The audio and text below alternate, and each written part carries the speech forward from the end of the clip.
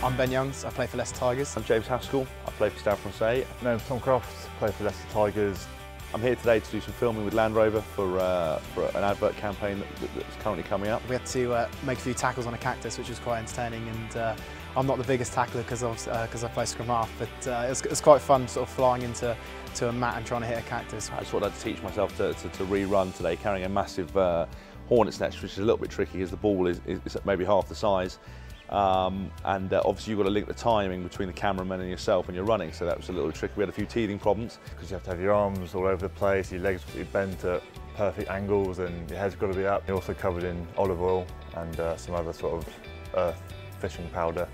So it's been quite an experience here today, um, but it's yeah, it's enjoyable. Most challenging part, um, tr trying to not like pose, I guess, is trying to just sort of run freely with the hornet's nest, except for trying to, you know, sort of get a still shot. It's, it's kind of just sort of acting normal and, and, playing normal as if it was just, you know, you're, you're outside. Yeah, I've been with uh, Land Rover for the last five years and I've gone through, you know, majority of the range, but I'm very lucky to have a, a Range Rover Sport autobiography in um, understated white with black and red leather at the moment. Currently I'm driving a, a Land Rover Freelander.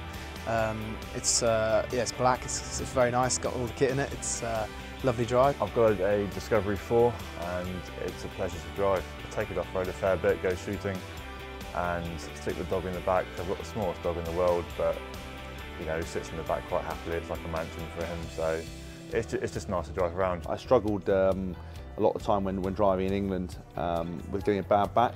So that's why I originally got into to having a, a Range Rover because the seating position is fantastic. I'm still very young, so I don't have uh, the family as of yet, but there's plenty of room, uh, you know, especially if I need to drive to parties or anything like that, or, or drive the boys to training and stuff, you know, there's plenty of room, and uh, the amount of kit bags we have and, and, things like that, you need plenty of room. That's the beauty of, you know, of the, of the Land Rover range, it caters for, for, for all your needs, whether you've got the new Evoque, you know, down to Freelander to, to, to the Sport, you know, I'm, uh, I'm very happy with it.